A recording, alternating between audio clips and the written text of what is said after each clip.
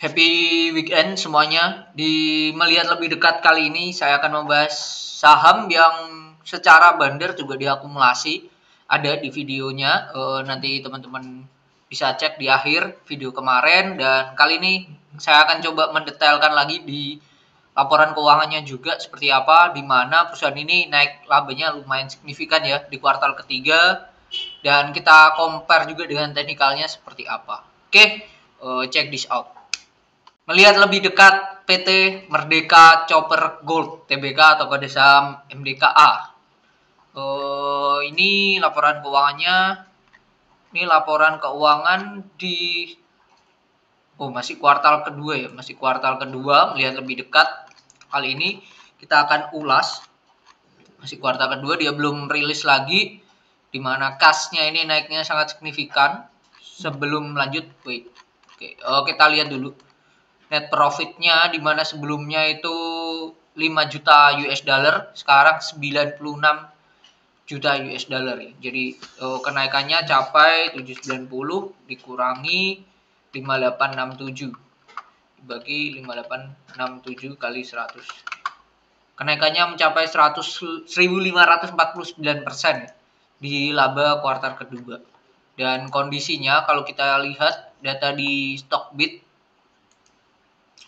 data di Stockbit MDKA kalau kita cek ke statistiknya laba tahun 2020 itu 500 miliar 2021 516 dan di 2022 sampai kuartal kedua itu sudah 1400 jadi sudah dua hampir tiga kali lipatnya dari laba 2021 jadi harusnya laba perusahaan MDK di tahun 2022 ini sangatlah kinclong lah Nah, ini akan kita bahas ya di lihat lebih dekat.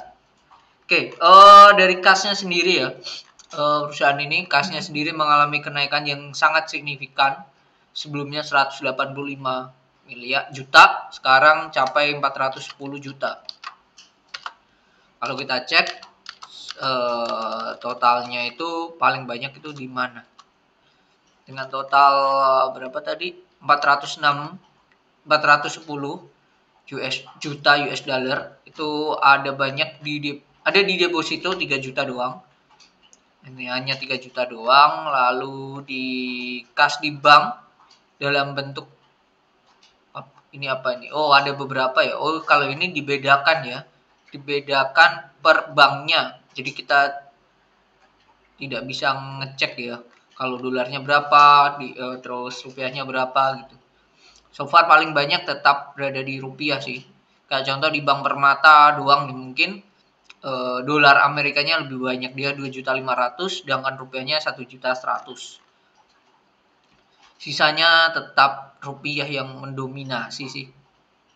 Oh ini oh guys rata-rata malah dolar ya dolar dolar dolar. Kayak ini contoh di UOB dolar lebih kuat lebih banyak mereka kas di banknya Terus Bank HSBC juga dolarnya lumayan besar juga 86 juta. UB 85 juta, terus di Bank China yuan Tiongkoknya yang lebih banyak 81 juta. Jadi so far dolar hanya kuat di perusahaan-perusahaan uh, di Indonesia yang asli dari Indonesia sendiri yaitu rupiah, di BCA, di BRI, di Mandiri dan seterusnya.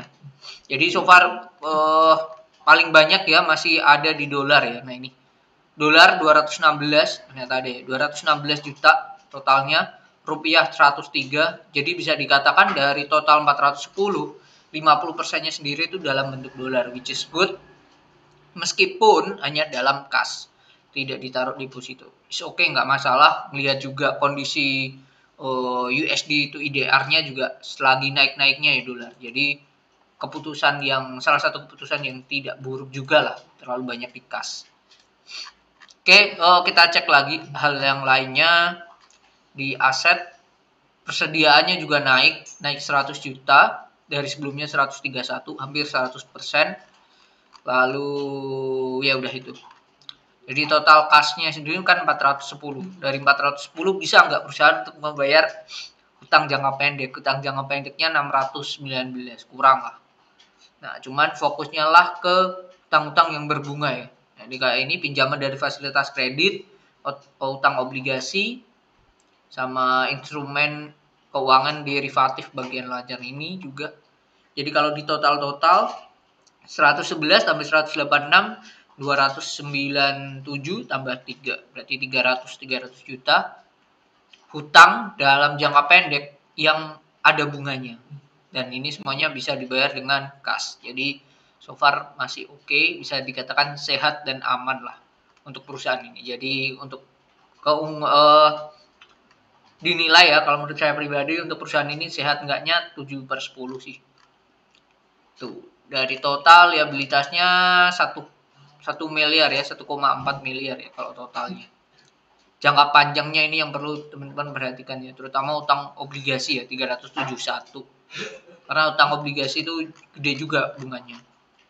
Oke uh, untuk pendapatan pendapatannya naik dari sebelumnya 135 juta sekarang 341 341 dikurangi 135 417 dibagi 135417 kali 100 naiknya 152 persen. Kenaikan ini ditopang oleh nomor 32 kita cek. Ekspor ya paling banyak ekspor dalam jumlah atau nominal 304 juta sendiri. Jadi mayoritas lah ya kalau kita cek di kalkulator 304 dibagi 340 kali 100 89 sendiri ya itu didominasi oleh ekspor jadi hal hal yang positif lah. Jadi ini yang perlu di cuman ada yang perlu diperhatikan adalah jika nanti ekspornya turun nah ini gimana nih? Jadi itu. Nah ini rincian transaksi penjualan pada satu pelanggan yang lebih dari 10% ada banyak ya. Ada precious metal global market Mitsui Encho Hongkong Rui PT Karya Sumiden dan Posco Internasional. Oh Posco ini sudah enggak ya? Jadi ada empat Nah, tinggal kita cek lagi empat perusahaan ini taken kontrak kerja sama long term kah atau tidak. Kalau long term bisa dikatakan laba dari MDKA terjaga, bisa terjaga lah. Tinggal nanti kita lihat harga komoditasnya seperti apa. Cuman kalau ini tidak proyek jangka panjang, nah itu akan jadi uh, waspada terus lebih untuk MDKA, terutama di tahun 2023 ke atas. Itu sih. Kenapa 2003 ke atas? Murni karena saya merasa titik peak dari komunitas itu di 2023 habis itu akan slowly lah. Karena dua tahun mereka sudah naik terus ya mining pertama. Entah itu harga gas harga batu bara semuanya sudah naik kencang. Oke uh, itu mungkin uh, beban-bebannya so far tidak ada yang perlu dikecewakan ya. Mungkin ini ya sebelumnya mereka ada beban keuangan sekarang udah jadi pendapatan. Beban lain-lain juga sekarang sudah enggak jadi keuntungan bahkan good dan tidak ada yang mencengangkan lah yang mungkin menurut saya karena tidak ada efisiensi yang sangatlah signifikan ya.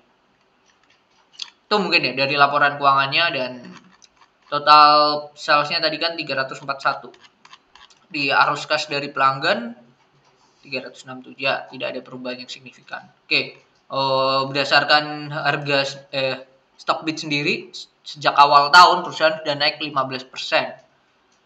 Oke, statistik PI berada di 36 sudah mahal, PBV 6,88 bahkan. Jadi ini sudah sangat over value.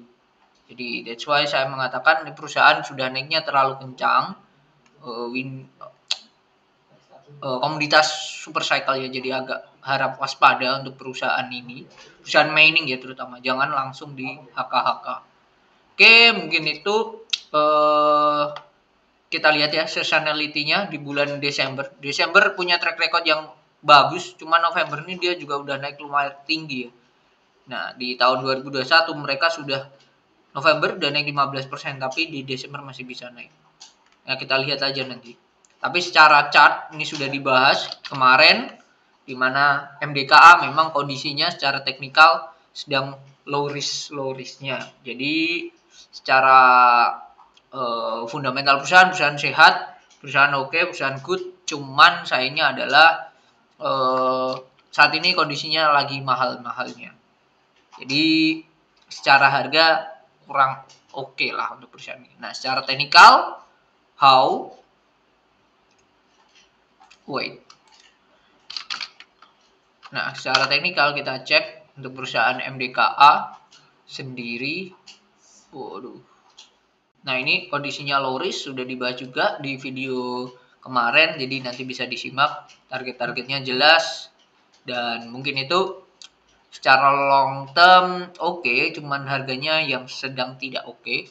secara short term masih oke okay. jadi itu pembahasan melihat lebih dekat MDKA so baiknya gimana membeli atau tidak pilihan dari teman-teman kita dan saya pribadi hanya memberikan insight atau sedikit ya point of view tentang Merdeka Chopper Gold TBK mungkin itu semoga bermanfaat. Jika ada pertanyaan atau request sama apa bisa tulis di kolom komentar. Oke okay, see you on the next video. Bye